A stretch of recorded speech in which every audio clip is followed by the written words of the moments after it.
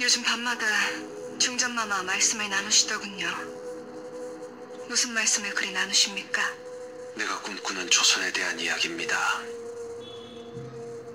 전하의 꿈을 함께 나눌 사람은 제가 될 줄 알았는데 마마가 그리 할 동안 제가 한 일은 고작 거짓에 휘둘린 것뿐이네요.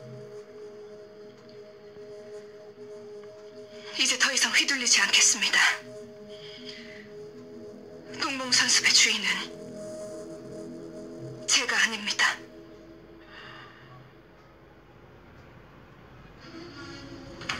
알고 계셨군요. 그런데 어째서 아무 말씀 안 하셨습니까? 달라질 것은 없으니까요. 어째서 달라지는 것이 없습니까?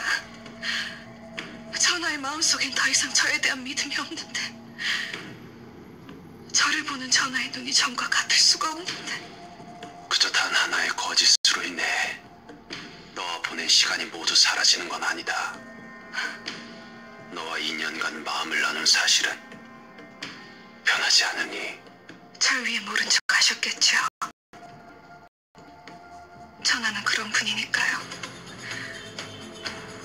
다 알면서 모른 척잘 친다고 해서 제가 행복할 거라 여기셨습니까? 하진아 저는 중전마마를 모함했습니다. 제가 국고의 집에서 장부를 찾아 대비마마께 넘겼습니다. 아니 어째서 중전이 미웠습니다. 그 장부를 보고도 몰랐느냐?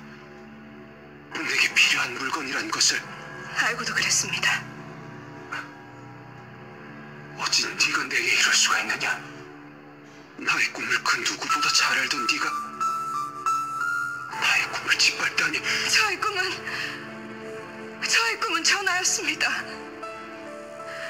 그런데 전하의 마음이 중전에게 향하기 시작했습니다. 나를 위해 애써 노력하면서도 어쩔 수 없이 이끌리는 전하의 모습을 보며 저는 점점 더 비참해졌습니다.